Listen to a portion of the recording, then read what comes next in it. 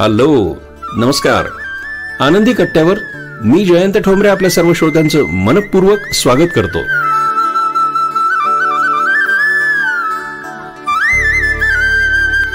श्रोतो नमस्कार. एका रेस्टॉरंटमध्ये एका सुप्रसिद्ध शेफने उच्च प्रतीचा तांदूळ वापरून अतिशय चवदार असा पुलाव बनवला.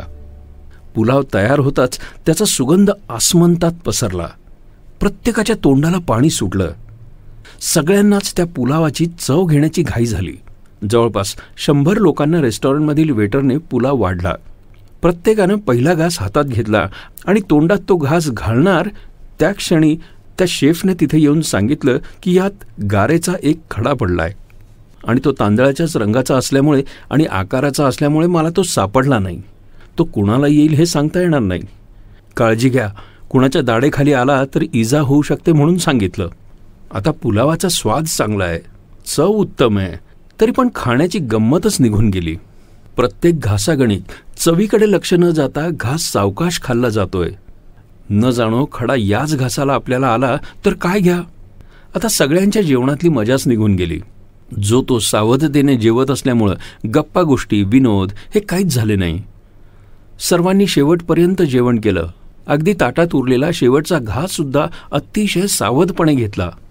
सर्वांनी आपल्याला खडा न आल्याबद्दल सुस्कारा सोडला. हात धुतले. तेव्हा कुणाच्या तरी लक्षात आलं अरे च्या कुणालाच खडा लागला नाही? शेफला बोलवलं. त्याला विचारलं तू तर म्हणाला होतास की खडा येईल? तर तो म्हणाला मी काढले बहुतेक पण एखादा राहिला असेल म्हणून तुम्हाला सावध केलं. सगळे एकमेकांकडे पाहू लागले. अतिशय उत्तम स्वादिष्ट अशा पुलावावर चर्चाच झाली नाही. जेवण करून सगळे दमलेले होते. कारण प्रत्येक घास खाण्यातली सहजताच निघून गेली होती. जबड्याच्या हालचालीतली सहजता गेली म्हणून जेवण जेवणं हे कष्टदायी झालं होतं. तात्पर्य काय? तर सध्या कोरोनामुळे आपली अवस्था पुलावातल्या खड्यासारखी झाली आहे कुणाला हा खडा येईल हे सांगता येत नाही. त्यामुळे जगण्यातली सहजता निघून गेली आहे अगदी आपल्याला दैनंदिन मदत करणारा हात सुद्धा कोरोनाचा असेल की काय अशी शंका यायला लागली.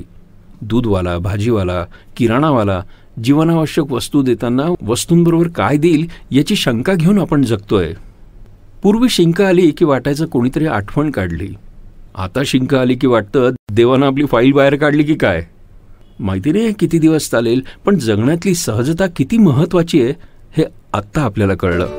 होय ना? यानंतर पुढचा कार्यक्रम ऐकायला विसरू नका. आनंदी कट्टा रेडिओ जयंतवरून. तोपर्यंत मात्र आनंदी रहा।